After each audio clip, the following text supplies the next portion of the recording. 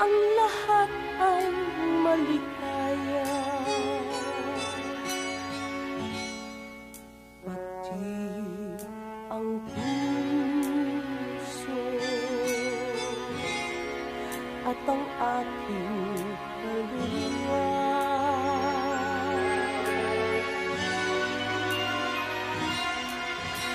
Bakit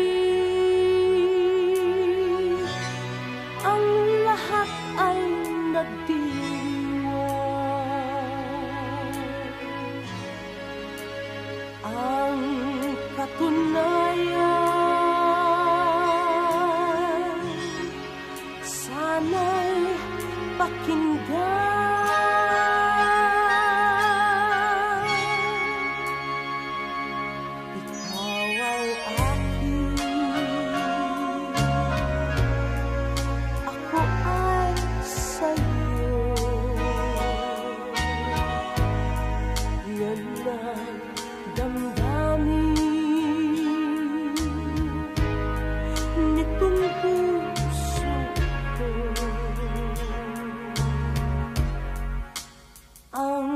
Ang panambing